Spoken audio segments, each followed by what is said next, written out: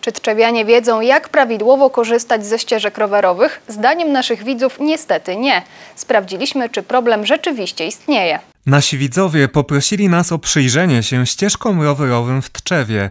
Otrzymaliśmy sygnały, że mieszkańcy naszego miasta nie tylko jeżdżą po nich rowerami, ale także spacerują, biegają, jeżdżą z wózkami dziecięcymi, czy też poruszają się na rolkach czy hulajnogach.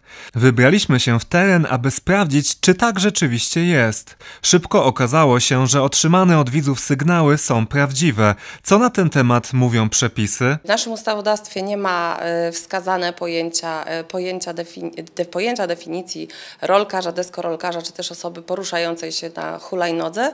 Dlatego też wobec e, tej grupy osób stosujemy przepisy tak jak e, do pieszych. Piesi mogą korzystać z drogi rowerowej tylko w wyjątkowych sytuacjach. W przypadku, kiedy nie mamy chodnika po, lub pobocza, albo nie ma też możliwości skorzystania z tego chodnika i pobocza. Tak mówi ustawa Prawo o ruchu drogowym. Za poruszanie się po drodze rowerowej osoba, która jest pierwszym uczestnikiem ruchu drogowego lub też osoba, która korzysta e, z wszelkich urządzeń na kółkach typu rolka, deskorolka, hulajnoga może otrzymać mandat karny w wysokości 50 zł. Za, e, jest to mandat przyznawany za stworzenie zagrożenia e, na ścieżce rowerowej. Z czego może wynikać obecność na przykład pieszych na ścieżkach? O komentarz poprosiliśmy tczewskiego oficera rowerowego. Z moich obserwacji to może wynikać na przykład z tego, że ścieżka jest zlokalizowana nie przy jezdni, tylko jest oddalona, a na odwrót jest chodnikiem, a pieszy intuicyjnie idzie jak najdalej od jezdni, więc w tym przypadku idzie prawdopodobnie po, po ścieżce rowerowej.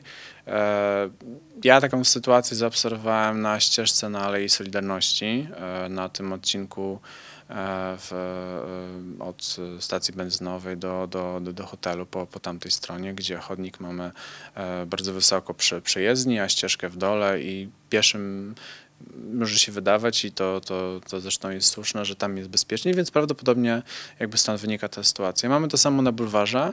E, Jakby wiemy, że jest taka sytuacja, obserwujemy to.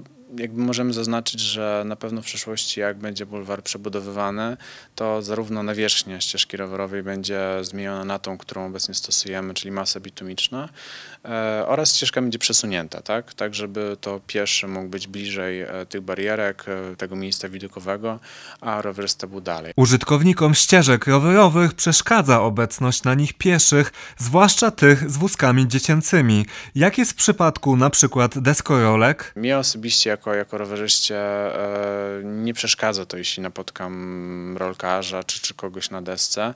E, nie jest to zresztą też częste, tak? Wiem, że były propozycje zmiany w prawodawstwie, ale chyba to ut- utknęło w martwym punkcie. Nie słyszałem też o jakichkolwiek wypadkach e, z udziałem rolkarzy, rowerzystów.